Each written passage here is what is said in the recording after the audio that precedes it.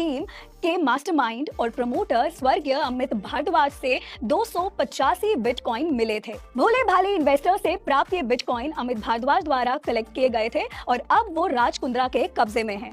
इन bitcoins की कीमत डेढ़ सौ करोड़ रुपए से भी ज़्यादा बताई जा रही है आरोप ये है कि वेरिएबल टेक प्राइवेट लिमिटेड स्वर्गीय अमित भारद्वाज, अजय भारद्वाज, विवेक भारद्वाज, सिंपी भारद्वाज, महेंद्र भारद्वाज और अन्य एमएलएम एजेंट्स ने करीब छियासठ करोड़ रुपए की बिटकॉइन साल 2017 में फर्जी वादों के आधार पर इन्वेस्टर्स से हासिल किए जिन्हें 10 परसेंट रिटर्न का भरोसा दिया गया था और उन्हें बिटकॉइन माइनिंग में निजी हितों के लिए इस्तेमाल किया गया। ये एक तरह से पॉन्सी स्कीम थी। दिसंबर 2023 और जनवरी 2024 में ईडी ने इस मामले में रेड करके तीन आरोपियों को गिरफ़्तार किया था।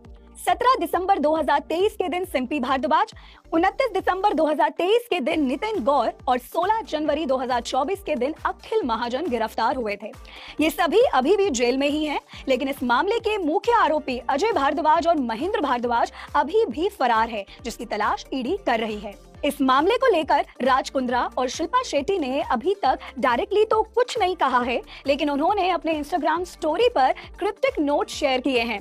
और ऐसा उन्होंने ईडी द्वारा लिए गए फैसले के कुछ समय के बाद ही किया है। और इसीलिए इन पोस्ट को इस मामले में राज कुंद्रा और शिल्पा शेट्टी की प्रतिक्रिया के तौर पर देखा जा रहा है। राज कुंद्रा ने अपने पोस्ट में शेर की दहाड़ की तस्वीर शेयर की है और अपमानित महसूस होने के बाद शांत रहना और सफलता को लेकर बात की है। वहीं दूसरी ओर शिल्पा ने साई बाबा की एक तस्वीर शेयर की है और हैशटैग समर्पण के साथ लिखा है, ओम साई राम वैसे भी राज कुंद्रा का कंट्रोवर्सी से जुड़ा ये कोई पहला मामला नहीं है।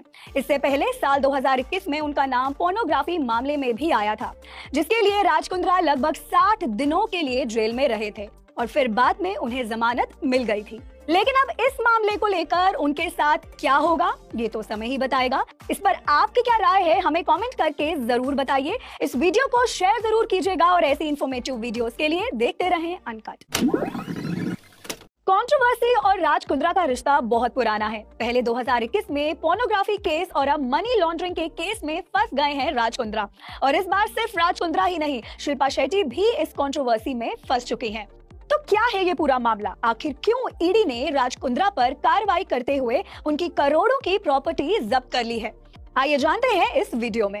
हेलो एवरीवन मैं हूँ नवमी और आप देख रहे हैं अनकट ईडी ने शिल्पा शेट्टी और उनके पति राजकुंद्रा के खिलाफ मनी लॉन्ड्रिंग के मामले पर एक्शन लिया है। ये मामला बिटकॉइन के इस्तेमाल के ज़रिए इन्वेस्टर्स के पैसों में धोखाधड़ी से संबंधित है।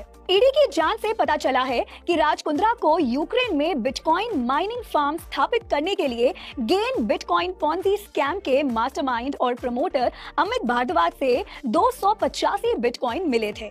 ईडी ने 18 अप्रैल के दिन इसकी जानकारी देते हुए कहा कि मनी लॉन्ड्रिंग जाँच के तहत एक्ट्रेस शिल्पा शेट्टी और उनके पति राज कुंद्रा की लगभग अट्ठानवे करोड़ रुपए की संपत्ति जब्त कर दी गई है। ईडी ने अपने ऑफिशियल एक्स यानी ट्विटर अकाउंट पर पोस्ट करके बताया कि prevention of money laundering act 2002 के प्रोविजंस के तहत रिपू सुदन कुंद्रा उर्फ़ राज कुंद्रा से संबंधित 97.79 करोड़ रुपए की अचल और चल संपत्तियों को अस्थायी रूप से जब्त कर लिया गया है।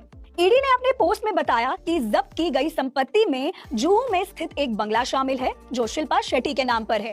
साथ ही पुणे में स्थित एक बंगला भी शामिल है और इसके अलावा राजकुंद्रा के नाम पर कुछ इक्विटी शेयर भी जब्त किए गए हैं।